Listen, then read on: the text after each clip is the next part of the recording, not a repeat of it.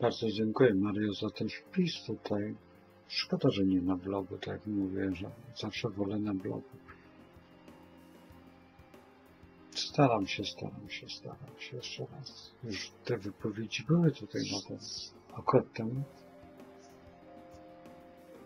Ale miejmy nadzieję, że ułatwi to niektórym zrozumieć także i siebie poprzez pewne zachowanie siebie wobec lustra, jakim jest kosmos. To jest to w sumie lustro, w które się patrzymy i odbijamy się, że w kosmogramie widać pewne cechy, nie tylko charakteru, ale także i fizjonomii.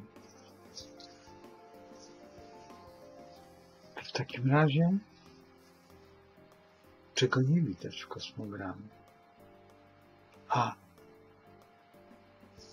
dlaczego nie być tym, który korzysta ze wszystkich dobrodziejstw, które są nam dane we władaniu?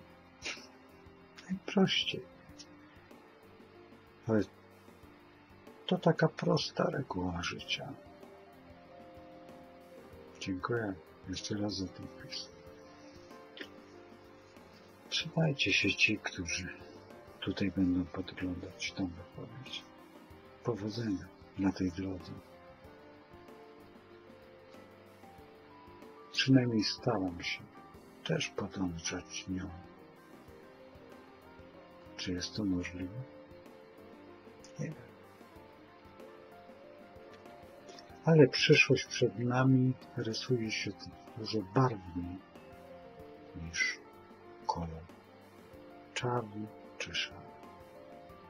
Trzeba ukwiecić nasze myśli barwami najpiękniejszymi, jakie są,